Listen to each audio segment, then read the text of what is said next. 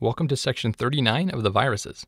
This is the overview figure showing all the viruses you need to know for step 1. In this section, we will be discussing the next picornavirus, which is echovirus.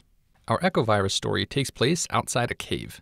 Some people like to yell into caves to hear their own echo.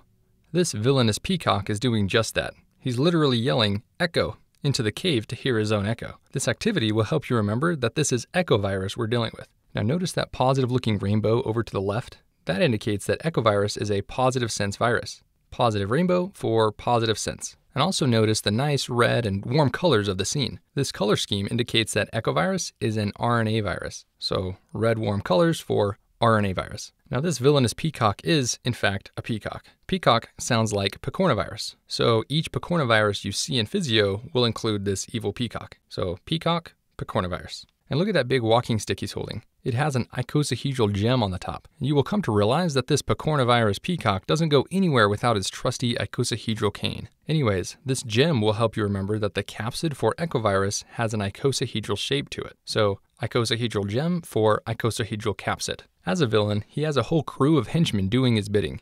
See this line of henchmen here? Well, this line will help you remember that echovirus is a linear virus. So again, line of henchmen for linear virus. Now let's look closer at their shirts. Their shirts say IRS on them, like Internal Revenue Service. Like oppressive kings in the Middle Ages, this villainous peacock oppresses his subjects through excessive taxation. It may not be called the IRS back then, but most of us are familiar with the Internal Revenue Service, the IRS. So, IRS is what we will call these tax enforcers. Now, I'm not suggesting that the IRS of the United States is villainous in any way. It's just a nice way to help you remember something important about echovirus. IRS will help you remember IRES, as in internal ribosomal entry site. If you need a refresher on this concept, please see the poliovirus lecture. Now, this villainous emperor really can't oppress anybody if there's nobody to oppress. So let's bring on these oppressed pigs of our story. Look at them, all scared of the brutal enforcement of the peacock. Interestingly, these little piggies like to be naked at all times. Thankfully, we have included a black box to cover up their nakedness.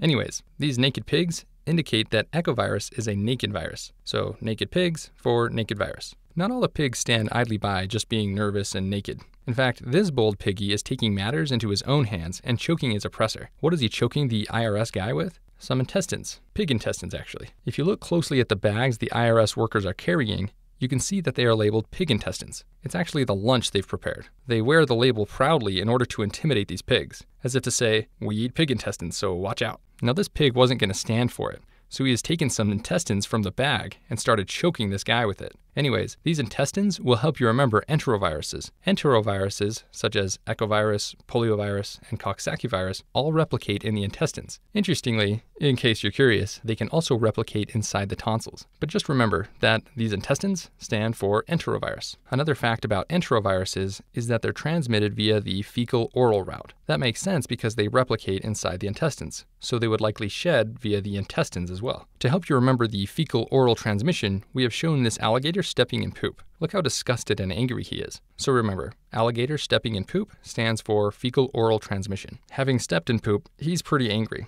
Look how angry he is. He's frothing at the mouth with rage. This is to help you remember that enteroviruses are also transmitted via saliva. As mentioned before, since enteroviruses can replicate inside the tonsils, that means that salivary droplets can also be a mode of transmission. So again, salivating guy stands for salivary transmission. Now that first bold piggy has actually inspired some of his comrades. Look at this guy also fighting back. Look at him throw that rock at the henchman's head. That's a pretty impressive blow. It even knocked his hat off. This blow to the head represents meningitis, and the fact that he's wearing a hat reinforces this idea. Meningitis is an important association to be familiar with, so whenever you think of enterovirus, think meningitis. So again, rock hitting the head of the henchman with the hat stands for meningitis. Now let's bring on some asteroids descending to the Earth. This gigantic one right here in the front has broken up into a bunch of smaller pieces, which you can see scattering around. This giant asteroid breaking into smaller ones represents the fact that the host ribosomes will translate the viral RNA into a single giant viral protein.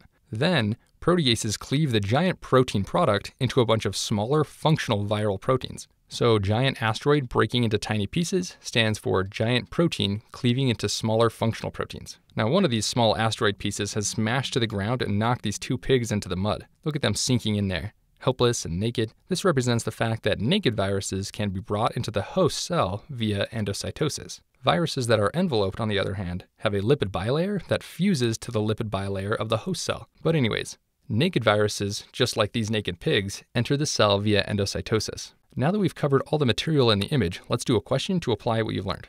A laboratory researcher is studying traits associated with picornaviruses. She identifies a member of the picornavirus family that replicates within Peyer's patches and can cause meningitis. Which of the following statements is true regarding this virus? A. Proteins surrounding the genome curve continuously around a center point. B. The virus is considered one of the enteroviruses. C. There is an absence of uracil in the viral genome. Or D. The virion contains an enzyme for synthesizing nucleic acids. Now, the correct answer is B. The virus is considered one of the enteroviruses. From the question, we know we're dealing with a picornavirus, since that was stated explicitly. And we know that we're dealing with an enterovirus, because it replicates inside the Peyer's patches and can cause meningitis. Peyer's patches are lymphatic tissue within the small intestines, specifically the ileum. You may recall from the GI anatomy chapter the phrase Pepys brain dump.